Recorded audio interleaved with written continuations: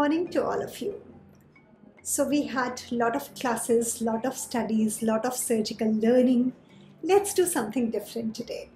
No, we are not going to have any fun. Rather, we are going to have a test today. So before we begin, let me make it simple for you. The test for today is only on the technique of opening anterior and posterior pouches during vaginal hysterectomy. I personally believe that in the case of vaginal hysterectomy, if you have opened the pouch of Douglas as well as the anterior pouch or UV fold safely, there is nothing left to be done. Just three clamps here and three clamps there, and the hysterectomy is done. So the trick is, the challenge is to open how safely you can open the anterior pouch as well as the posterior pouch. There is where people get scared, they get stuck, and they tend to have complications. So, through various stages of surgery, I'll ask you different questions. What you have to do is you have to pause there and assess yourself. Then you proceed to get the answer. So, are you ready? Let's do it. It's a case of third degree uterovaginal prolapse, and we are starting the surgery. The first question for you is What is this infiltration?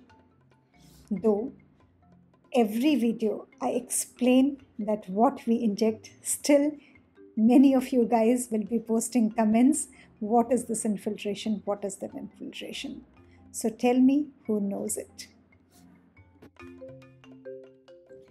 I hope you have already answered either in your mind or in the comment box below. Yes, it is diluted adrenaline. And how do we use it? We take 1 ml or 1 ampule of adrenaline, mix it with 200 milliliters of normal saline, and then inject it. For entire surgery, up to 100 to 120 ml of this diluted solution can be used. When we start, we usually use 50 to 60 ml of it. That's it. Let's move on to the next question. Now is the time to give the first transverse incision. And what should be the site of first transverse incision? So, what is the answer? The answer is Actually, it is at the cervico-vaginal junction. But in most of the cases of prolapse, like this one, it is not easy to delineate the rugosities and thus the cervico-vaginal junction. So we give an incision around 1.5 centimeters above the os. To make this incision, we can either use cautery or we can use knife also there are different advantages and disadvantages of using any of those. Usually, cautery will prevent hemorrhage, it will cause less bleeding, while if you are using knife, it will give you a nice plane of delineation and it will show tissues very separately, very beautifully. In this particular case, we chose to use knife because the tissues were extremely fragile and thin so we thought the idea was that if we use cautery, the chances of dissipation of energy and causing heat damage or electrical damage to the surrounding tissue was higher. So you have to choose the risk and benefit from patient to patient. And we chose to have little more breathing than to have less thermal burn to the surrounding structures.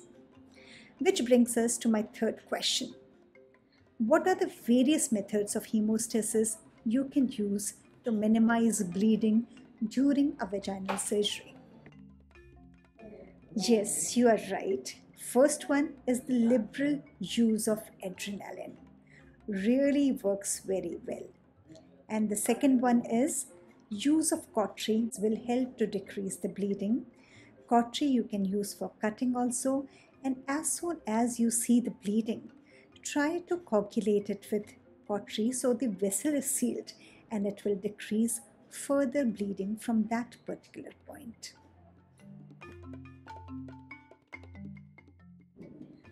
Now, question number four.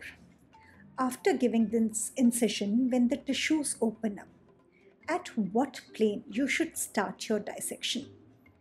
Option number one is between the layer of vagina and the bladder or what we call as the bubble of safety. Option number two is should you start dissecting between this bladder or bubble of safety and the cervix? So, what is the right answer? Yes. Always remember when we are starting the surgery, if we have to approach the UV fold or the anterior pouch, this is the plane of dissection, the bubble of safety or the bladder and the cervix. If you go into the option number one, that is between the vagina and the bladder, that is the plane which we have to use for cystocele repair to reflect the walls of vagina. I hope it is clear to all of you. Question number four. Suppose it's your bad day and the bladder gets injured. How do you identify it? So, for easy identification sake, one day prior to surgery, in our practice, we give pyridium to the patient, two tablets of pyridium the night prior to the surgery, so that the urine becomes orange and as soon as you open the bladder by mistake, by your bad luck, an orange color of fluid will pour outside. That is the identification. Now, suppose it was your bad day and bladder injury happened. Urine, which is orange in color, has already leaked out, and you can see that there is a rent in the bubble up from where the urine is leaking. What do you do?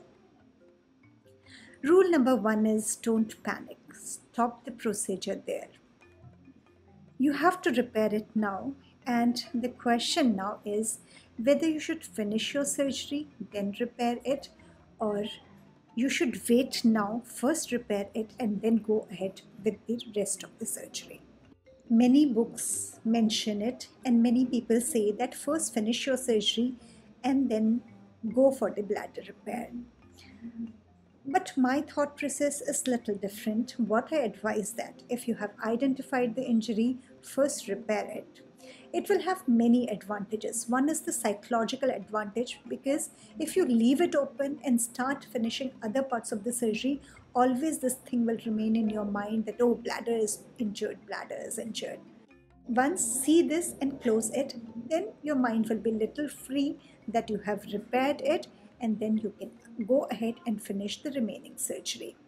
The other thing is, if you leave it open, the urine continuously will be leaking from there and your area will not be as clear all the time if some fluid is seeping because ureters are producing urine in the bladder. If it keeps on sleeping, it will hinder your other surgical procedures and soil it too. So my advice is first repair the injury and then go ahead and finish your case. For repairing the bladder, you do not have to call any urologist, you can do it yourself. Bladder, trust me, is a very forgiving organ, it will heal very well. So, you have to have a suture. Vicryl is okay, even PDS is fine. A suture number should be 3O. If it is not there, it's okay to use 2O Vicryl also. Bladder rent should be repaired in two layers preferably and the sutures what you are taking can be either continuous but do not lock those or it can be even interrupted suture. So in first layer try to take mucosa of the bladder and also the muscularis and the second overlaying layer is to approximate the serosa. At the end of the surgery check it with methylene blue there it should be a watertight compartment there should not be any leaking and last but not the least in these women keep catheter for at least two to three weeks depending on the size of the rent so that the drainage is continuous and bladder gets adequate rest to heal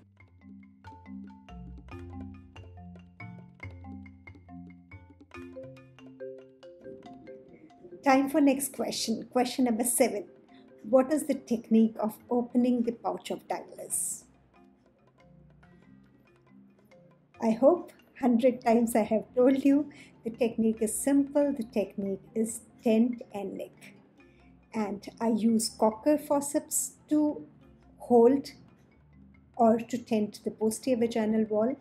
Now, if you're thinking that what should be the distance, the distance where the Kocher forceps holds the posterior vaginal wall is double the anterior distance. So anterior distance, if you have kept 1.5 centimeter, here it should be 3 centimeters. And if you nick it like this, you can see the peritoneum opening. You can inspect that it has pouch of Douglas inside. You can see the posterior wall of uterus also. And you have any doubt as Kavita had it here because she could not see it because of her standing position. You can even feel for the smoothness of the posterior wall of the uterus.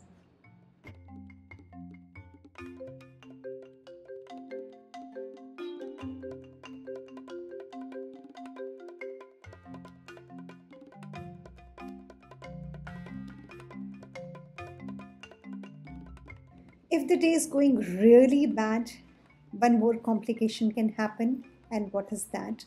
While opening the pouch of Douglas, there can be bowel injury. And how do you identify it? There will be leakage of some fluid or some fecal material which will be smelling the way it smells.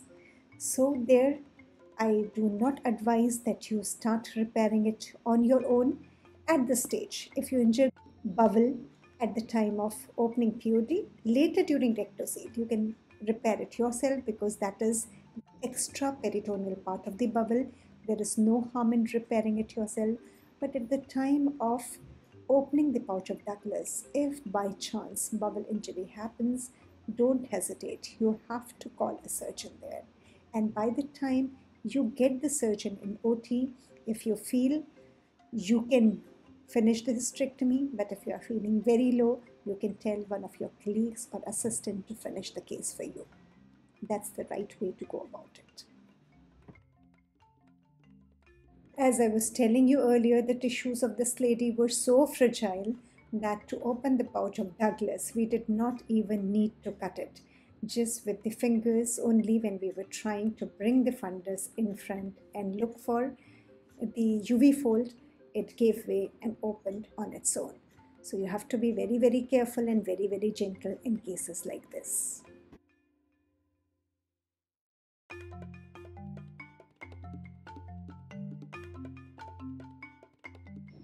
Last question Is there a risk of ureteric injury during vaginal hysterectomy for prolapse?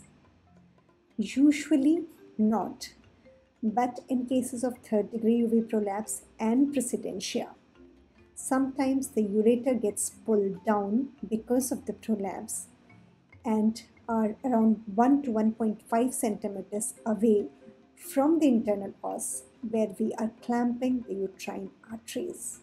So, yes, you have to keep that in your mind.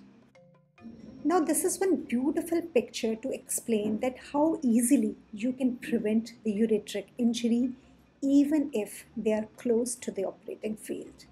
The first star is for the retractor, which is retracting the bladder upwards. If you pull it nicely upwards, the ureter tend to go up and laterally. The other star is for traction of the cervix. If you nicely give traction to the cervix and simultaneously retract the bladder carefully, you are pushing the ureters far away from the operating field. So, isn't it a simple trick to do?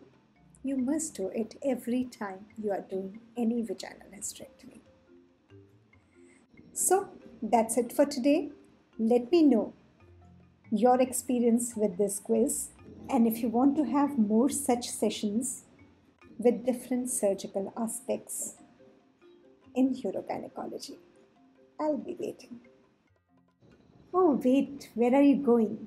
Have you written in the comment box below how much did you get today? Let me know.